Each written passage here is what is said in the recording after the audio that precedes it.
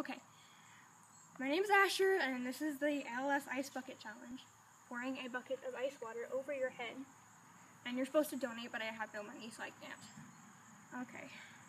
But you will soon. His family family will give you some money. Okay, thank you. um, Show the world. okay, thank you for nominating me, Rand. That was so nice of you. Um, nominations will come after. Okay, ready, set, go.